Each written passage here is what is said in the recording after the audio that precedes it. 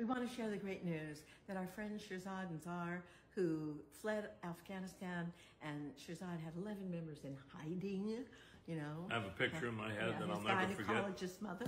I mean, There were yeah. 11 backpacks leaned up against a bed, waiting for an escape route. They were in hiding.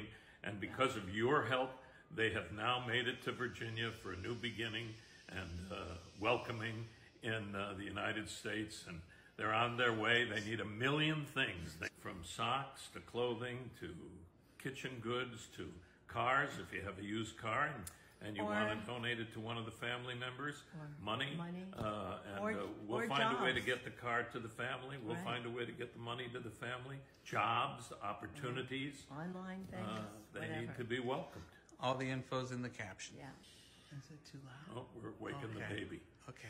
We're waking the baby. We'll talk a little closer. The, the, when they all got together, the videos that they sent us were unbelievable. You have done, as as my people say, a mitzvah, and uh, which means a wonderful, heartfelt good deed. These are such caring, grateful, wonderful, loving people. Thank you so much for your help. Thank you for your help. Thank you for your Thank you for your help. Thank you for your help. Thank you for your help. Hello everyone, thank you so much for everything. Thanks for each and every donation you did. And um, thanks for, for, for being there with me during the, the, the hard time.